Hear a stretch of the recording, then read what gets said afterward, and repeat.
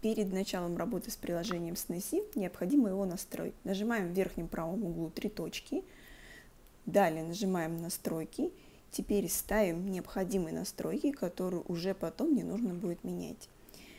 Нажимаем «Изменение размеров изображения», нажимаем «Не менять размер», оставляем как вот есть галочка. Далее нажимаем «Качество и формат», ставим JPEG 100% и возвращаемся назад. Само поле, где находится у меня фотография, у вас будет первоначально пустым. Чтобы это исправить, вам нужно загрузить фотографию. Для этого нажимаем кнопку «Открыть», которая находится в верхнем левом углу. Вы можете выбрать из последних фотографий, которые сразу отображаются на панели. Или же можете нажать кнопку «Выбрать из галереи» и выбрать нужную вам фотографию – которые находятся в фотоальбомах вашего смартфона. Далее под фотографией находится уже готовый фильтр от Snapseed. Их при желании можно использовать, но, как показывает мой опыт и практика, что они ложатся не очень красиво на фотографии с едой. Поэтому я их не использую и, соответственно, не рекомендую их использовать вам. Далее нажимаем на панель «Инструменты». Snapseed предлагает большое количество инструментов, но для начала мы изучим коррекцию. Нажимаем на значок и потом нажимаем на три полоски посередине внизу.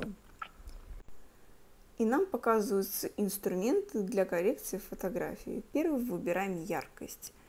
С помощью нее вы можете увеличить или уменьшить яркость фотографии – Данная фотография не яркая, и я, соответственно, увеличу яркость, двигая ползунок вправо на примерно где-то на плюс 71.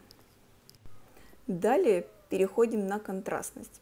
Как правило, я редко использую этот инструмент, потому что считаю его бесполезным в использовании фотографии. Если же я все-таки решила его использовать, то это делаю на маленьких показателях, и при этом смотрю, как меняется качество фотографии. Далее переходим в насыщенность, делаем фотографию более насыщенной, двигая ползунок вправо. В этом деле главное не переборщить и не сделать фотографию ненатуральной. Я поставила на небольшой плюсик. Далее переходим на световой баланс. Тут тоже работу нужно делать аккуратно и смотреть, как накладываются настройки на вашу фотографию. Я поставила плюс 20, фото стало чуть теплее, и меня это устраивает. Далее выбираем светлые участки. Эта настройка помогает устранить пересветы на белых предметах.